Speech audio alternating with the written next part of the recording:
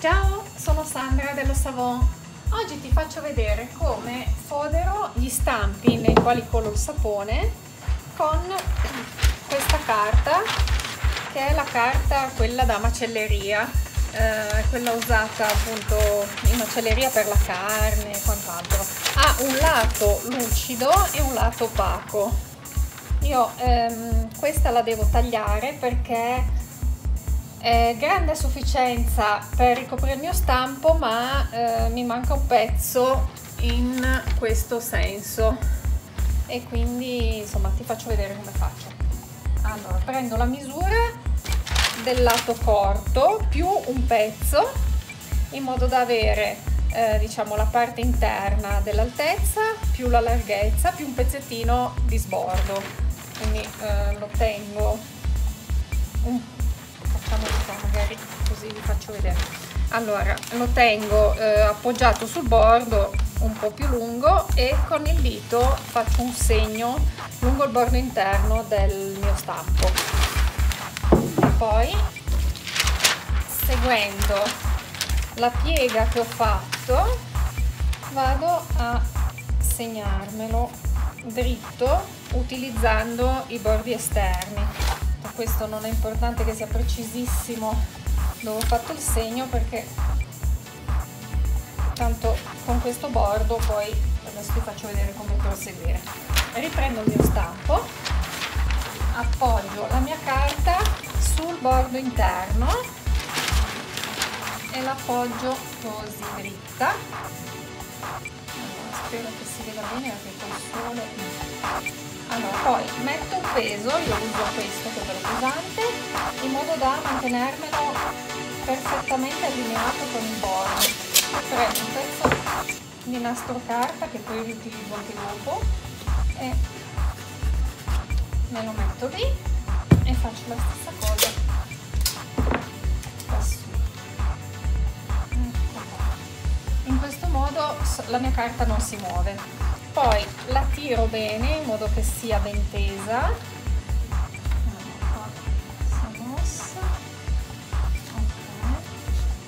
Risistemo allora la tendo bene e segno con il dito questo bordo sempre il bordo interno eh, da questa parte. In questo modo segno la carta. Tolgo il mio nastro carta. Attenzione a non strapparlo ovviamente metto da parte che mi servirà poi per fissare la carta allo stampo in legno.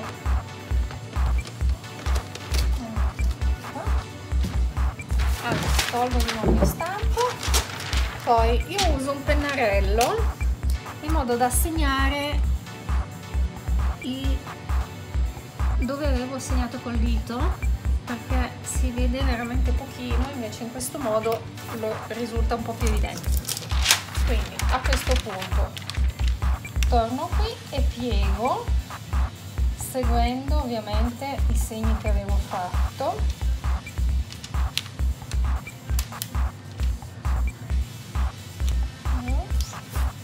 Cercando di andare più dritta possibile. Ecco qua.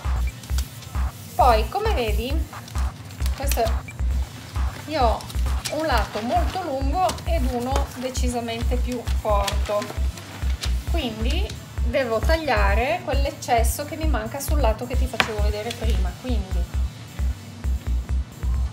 a occhiometro o spannometricamente come dice qualcuno taglio via un pezzo in modo che questi due siano più o meno della stessa dimensione. Riprendo il mio stampo e questo ora lo utilizzo per eh, quel pezzettino che mi mancava. Ops, qua è rimasto del sapone. Allora porlo via.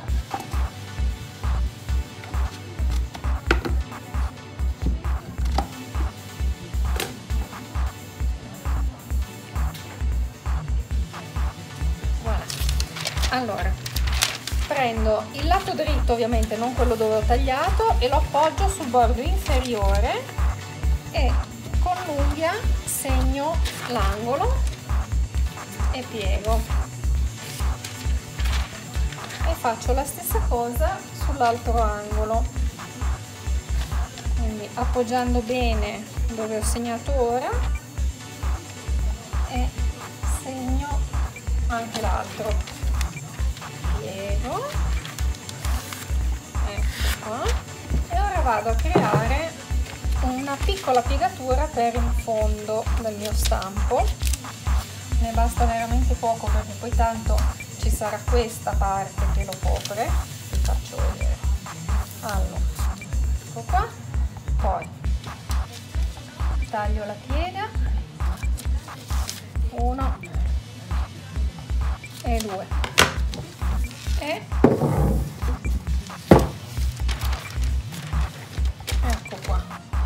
ora taglio proprio in direzione dell'angolo. Qua così. E di qua. Ecco qui utilizzo il mio pezzo di nastro carta per fissare il lato al legno allo stampo quindi fisso la carta al legno in questo modo stampo dalla parte opposta infilo il mio foglio bene in fondo ovviamente fatto quindi in modo che il bordo corrisponda bene con questo lato e di nuovo con le dita vengo e mi segno questo bordo qua in modo da poterlo piegare il più precisamente possibile. Tolgo di nuovo il mio stampo e in questo modo vedi che qui si vede dove devo fare la piega. Quindi lo faccio perfettamente perpendicolare allineando questa piega con questa. In questo modo sono sicura di aver piegato a 90 gradi questi angoli e sono perfettamente perpendicolari poi vado qui si può o tagliare che è la cosa che faccio io oppure creare un angolo a, 90, a 45 gradi pardon. Quindi così per piegare la carta. Io per semplicità preferisco tagliare trovo che è molto più veloce. Allora si taglia fino all'angolo lì e da quest'altra parte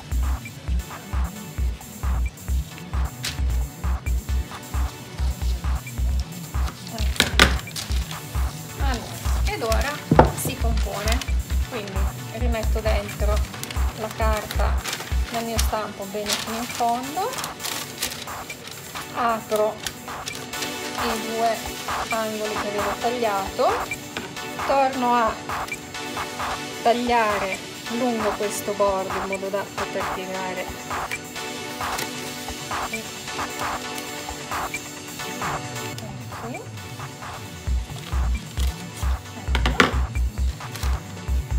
Piego la mia carta.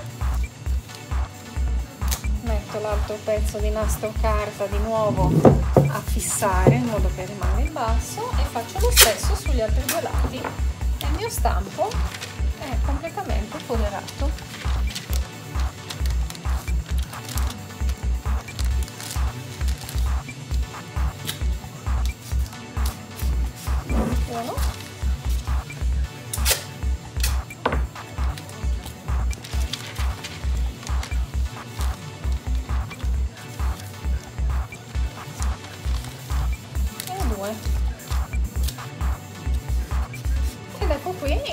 stampo completamente foderato. In questo modo mi basta solo versare il sapone dentro e non si appiccica ovviamente al, al mio stampo di legno. Ogni tanto capita che il sapone è molto liquido e quindi fuoriesca un pochino da questi buchini che rimangono ma non è un grosso problema. Eh, cioè al massimo rimane proprio un pochino. Adesso vediamo se si vede. Con sta luce vediamo mi sposto. Ecco questi sono dei residui di sapone ma non, non creano nessun tipo di problema. Una volta che si sforma eh, lo stampo di sapone si gratta via il pezzettino e lì va bene continuo il mio lavoro